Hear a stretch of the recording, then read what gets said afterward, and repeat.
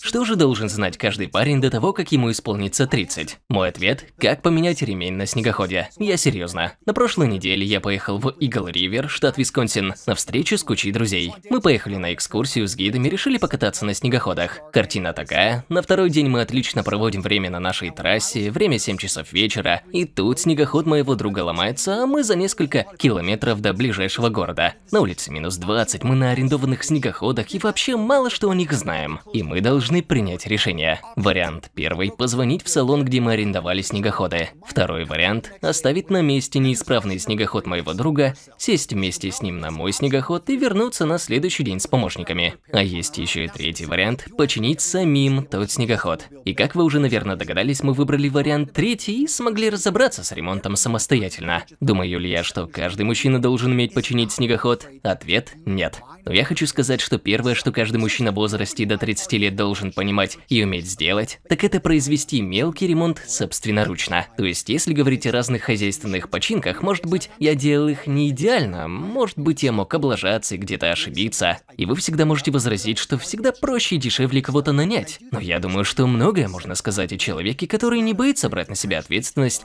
и попробовать что-то придумать самостоятельно. На самом деле, такое мышление очень помогает в нашем мире, где, кажется, все стараются делегировать разные дела другим. Следующий пункт в списке, я думаю, состоит в том, что каждый парень хотя бы к 30 годам должен понимать 5 основ финансовой грамотности. Эти 5 основ заключаются в том, чтобы заработать деньги, сэкономить деньги, защитить их, потратить, занять. Если мы говорим о заработке, то существует бесконечное количество вариантов. Но постарайтесь выбрать тот, который будет хорошо вознаграждать вас за меньшую работу. Мои родители брали почасовую работу. Я видел такой пример в юности и думал, что Система работает именно так. Потом я понял, что есть работа за зарплату, и это показалось мне вариантом получше. Да, вам может придется поработать подольше, но преимуществ у такой системы больше. Однако и эта система показалась мне смешной, когда я понял, вот настоящий потенциал у владельца бизнеса. Вы можете выбирать часы работы, вы идете на большие риски, и теоретически у вас оказывается почти неограниченный потенциал заработка. Кроме того, есть еще и пассивный доход. Далее у нас идут сбережения. Любой человек, который жил от зарплаты до зарплаты, понимает важность и сложность сбережения денег. Но даже если вы зарабатываете сотни тысяч долларов в год и при этом ничего не откладываете, все может измениться и вы можете начать тратить больше. И тогда вы легко можете уйти в минус, так что важно жить по средствам. Следующий пункт – защита ваших денег. И этот пункт выходит на первый план из-за инфляции. Также вы можете защитить себя от уплаты слишком высоких налогов, если вы сами платите налоги и хорошо зарабатываете, вы можете совершать ошибки, потому что налоги нелогичны. Практически в любой стране есть юридические обходные пути, чтобы вы могли платить немного меньше. Помню, я как-то реструктурировал свой бизнес таким образом, чтобы платить меньше налогов. Не хочется платить больше налогов, чем нужно. Далее поговорим о тратах. Вы должны тратить меньше, чем зарабатываете. Вы должны экономить, но иногда вы хотите потратить немного больше, чем заработали. Потому что когда вы только начинаете свою карьеру и, например, хотите стать врачом, вы тогда хотите раз разумно вложить деньги и инвестировать их в хороший университет, в образование. Вам приходится занять денег, и тут вы понимаете разницу между хорошим долгом и плохим долгом. Хороший долг в целом это вклад в актив, например, образовательный или нечто, чья стоимость потом возрастет. А есть и плохой долг, когда вы тратите деньги, которых у вас нет на то, что вам не нужно. Например, покупаете машину и платите более 10% по процентной ставке по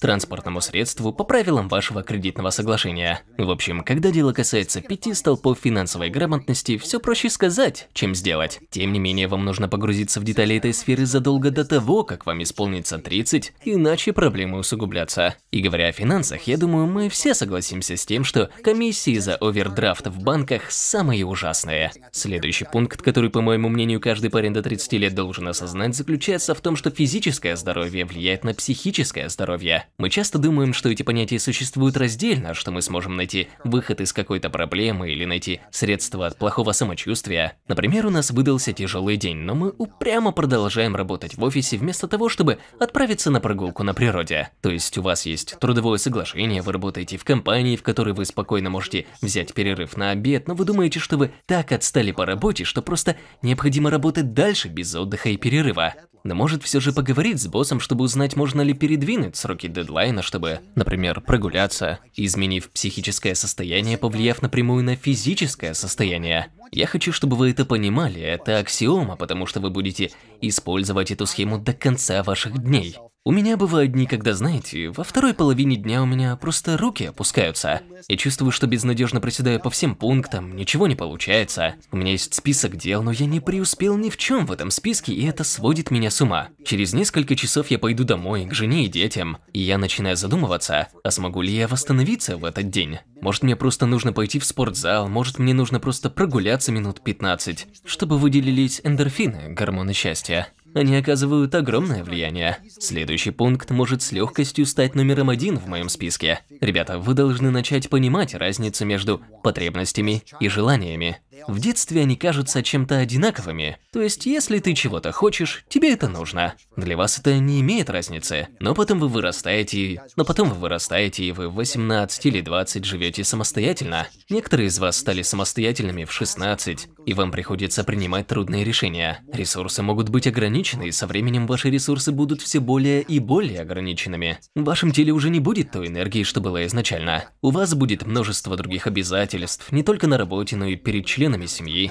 Я справляюсь со всем этим с помощью расставления приоритетов. В начале дня или когда дел очень много, я рисую схему. Вот такие квадраты на листе бумаги. Вверху у нас будут срочные и несрочные дела. Сверху вниз идут важные и неважные дела. Важные дела – это потребности, неважные – это желания. Да, без них можно обойтись. Все дела надо распределить в четыре квадрата. Представьте, что все дела у вас важные и срочные, и их много. Придется сделать много дел, несколько сложных звонков, принять несколько трудных решений, и как же быть? Что-то оказывается не таким срочным или не таким важным. Далее у меня наполняется квадрат делами важными и несрочными. И эти дела надо сделать, но никто не порит горячку по их поводу. Но есть опасный момент, у вас оказываются неважные дела, которые от вас требуют другие. Например, соцсети. Какой-то человек просит вас сделать что-то, что вам не так уж и надо. Реальность такова, что вы никогда не сможете выкроить достаточно времени, чтобы сделать все, что от вас просят, особенно если вы продуктивный, занятой человек, на которого другие полагаются. Люди обращаются к вам с просьбами. Все знают вас как парня, который все доводит до ума. И вы должны принять решение о том, что окажет по-настоящему большое влияние, что действительно важно. И на этом вам нужно сосредоточиться. Следующий пункт я увидел на Reddit, но думаю, что это была такая шутка, но в ней есть крупица правды. И она заключается в том, что вы никому ничего не должны. И многие скажут, да плевать я на все хотел. Один парень высказался в духе «Я забочусь о друзьях, я забочусь о семье, я забочусь о будущем, а все остальные просто бездельники». Вы можете думать и так. Но я считаю, что в данной ситуации крупица правды в том, что в какой-то момент вы должны начать осознавать, что есть вещи, которые имеют значение, а есть неважные вещи. И неважные вещи – это большая гора вещей, а важные вещи – довольно маленькая. И вам нужно сфокусировать энергию. 20% важных вещей, на которые вы направляете энергию, дадут вам 80% результата. А что это за 20%? Вопрос сложный, вы должны решить сами. Я не буду говорить вам, что это ваша семья, потому что я понимаю, у некоторых из вас есть семьи, с которыми вы не поддерживаете связь. Что ж, вы можете создать свой собственный круг друзей или встретить кого-нибудь, партнера, чтобы создать семью, если такова ваша цель. Я не говорю, что это цель всех людей, я просто считаю, что сообщество людей вокруг вас, которые поддерживают вас, делают вашу жизнь более приятной. И я думаю, что это по-настоящему важно.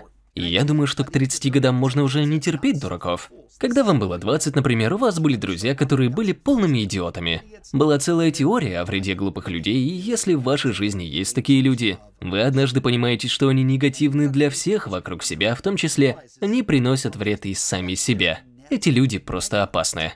Вам нужно держаться от них подальше. Лучше перестать с ними общаться, и вам не придется больше с ними иметь дело. Не стоит приглашать их в свою жизнь.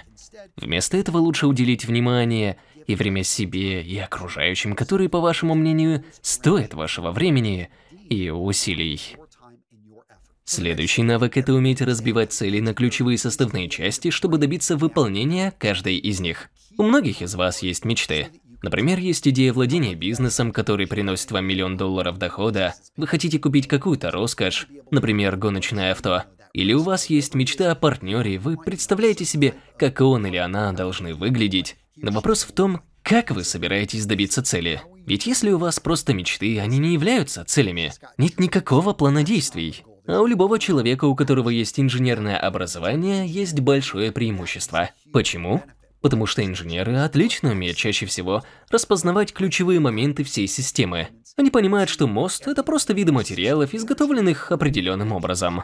У вас есть серия опорных конструкций, вы следуете определенным правилам и можете создать мост, который сможет выдержать заданный вес. И то же самое можно применить к вашим мечтам. Когда вы разбиваете цель на шаги, чтобы ее осуществить, вы понимаете, да, шагов будет много. Может быть 100 шагов, может быть 1000. Но в любом случае будет какое-то конечное число. И любой, кто когда-либо разбивал цель на шаги, понимает, что конечное число шагов можно выполнить. И шаг за шагом вы можете начать предпринимать действия в нужном направлении. И понимание шагов действительно приятно, потому что иногда, когда у вас есть цель или мечта, вы начинаете движение к ней не с нуля, а с минус тысяча, какой бы мечта ни была. Может быть, вы оказались в долгах или что-то вас сильно встряхнуло в жизни. Или вам не повезло с местом рождения, и вам вначале надо встать на ноги, фигурально выражаясь. Вам нужно собраться с ресурсами. Но когда вы видите шаг за шагом впереди, и вы идете в этом направлении, все оказывается намного проще, когда вы сами расписали себе все действия. Следующий пункт. Это правило может быть в первой тройке, что не все думают в ваших интересах. Многим из нас посчастливилось вырасти в семье, в которой о нас заботились. Но некоторые из нас в очень раннем возрасте узнали, что близкий человек, который должен был присматривать за нами, использовал нас вместо этого. Я знаю разные ужасные истории, и в моей жизни было несколько человек, которым, как я думал, можно было доверять, но внезапно оказывалось, что они меня предавали. Эти люди не поддерживают вас, они вас подставляют. Такие люди обкрадывали вас, они причиняли вам боль и страдания. Вы должны понимать, что есть люди, которые воспользуются вами, особенно когда вы начнете зарабатывать деньги. Если вы молоды и у вас много энергии, вам нужно убедиться, что вы работаете в компании, в которой вы получаете должное вознаграждение, в которой для вас есть свое место, и вас не просто используют, ничего не давая взамен.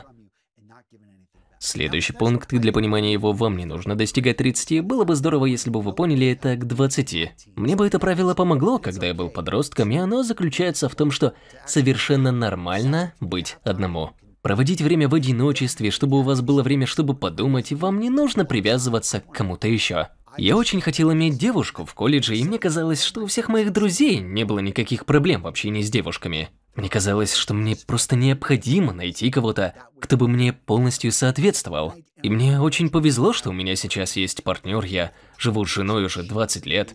Мы смогли построить совместную жизнь. Но не всем это необходимо. Не всем это нужно в молодости. Я хочу сказать, что вы можете жить полной, здоровой, хорошей жизнью, даже если вы никогда не найдете партнера. На протяжении всей истории есть много людей, много одиноких мужчин, одиноких женщин, которые смогли прожить свою жизнь и влиять на жизни других. Они смогли прожить жизнь, которой они были довольны, и во многих случаях их жизнь изменила этот мир. Очень часто вы читаете о таких людях, и им это удалось. При этом у них были друзья, множество людей вокруг, с которыми они могут построить глубокие отношения. Так что не попадайтесь в ловушку, думая, что вам необходимо создать пару. Этого хотят многие из нас, но это не то, что вам необходимо, чтобы жить хорошей жизнью. Следующий пункт жесткий, и я скажу вам все без обидников. Не все дела налаживаются, а все проблемы решаются. Мы часто слышим, что дайте время, и дела пойдут на лад, все будет лучше, чем сейчас. Но так бывает не всегда. Есть болезни, от которых люди в нашей жизни не излечатся. Есть отношения, которые уже не спасти. Есть времена, когда вы будете делать два шага вперед и один шаг назад. А будут времена, когда вы будете делать два шага вперед и 20 назад. И дело в том, что у вас могут быть цели, о которых мы говорили, цели которых вы собираетесь добиться, но вы можете их и не добиться при всем желании и действиях. Но вот в чем дело. Вы сражаетесь, вы делаете все возможное, вы не сдаетесь. Вот это главное. Мне хотелось бы думать, что жизнь это путешествие, которое развивает ваш характер. Но некоторые слишком многое ставят на карту. Как вам такая цитата? Опытным, опытным моряком в спокойном море не станешь. Некоторые из нас станут по-настоящему опытными моряками, потому что им в жизни встретится много дерьма.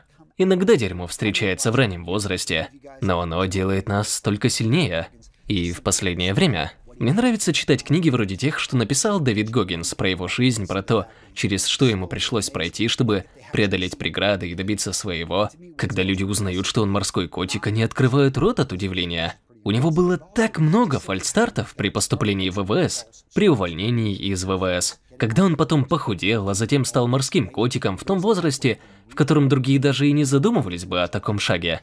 Вы никогда не должны сравнивать себя с другими, глядя на определенные вещи. Любые сравнения убивают у вас ощущение счастья. Поймите, что у вас есть свой собственный путь. У вас есть своя жизнь, которую вам нужно прожить. И проживая эту жизнь, какой бы трудной она ни была, помните, что ваша жизнь прекрасна, потому что она только ваша. Что же самое главное, что должен знать каждый мужчина до 30 лет? Лично я считаю, что это ваша основа. Вы должны знать, какие у вас цели, кто вы такой и за что вы радеете. Это нечто высеченное из камня, фигурально выражаясь. Вероятно, со временем ваши цели будут меняться и развиваться. И я вам кое-что рекомендую. На протяжении всей истории многие мужчины думали об этом. Нет ничего плохого в том, чтобы пройти через трудности, чтобы понять, кто я, чего хочу и что готов отстаивать. Мне лично очень помогла в этом морская пехота. Честь, отвага, приверженность основным ценностям. Что для вас означает честь? Что означает смелость? Что означает обязательство? Вы многое можете изменить. Я предлагаю вам позаимствовать девиз ВМФ и создать свой собственный девиз. Напишите мне об этом в комментариях. Я с удовольствием разошлю несколько своих монет с девизом кому-то из вас, кто досмотрел это видео до конца, может быть вы как раз в том возрасте, когда вы пытаетесь понять, кто вы и где ваш путь в жизни. Наверное, вы читали какие-то книги о том, что если в пустыне или в лесу у вас нет компаса, нет ориентира, за который вы зацепились бы, вы будете бегать по территории кругами. Так и в жизни, если вы поймете как можно раньше, чего вы хотите, куда идете. Если у вас будет путеводная звезда, вы быстрее добьетесь успеха, и вы можете меняться, вы можете скорректировать цели по ходу жизни, но вы делаете шаги в правильном, нужном вам направлении и уверенно движетесь вперед. Хорошо, а какое видео вам порекомендовать после этого? Если вы хотите круто и стильно одеваться, какому главному правилу надо следовать? Об этом я рассказываю в этом видео. Отличное видео, рекомендую.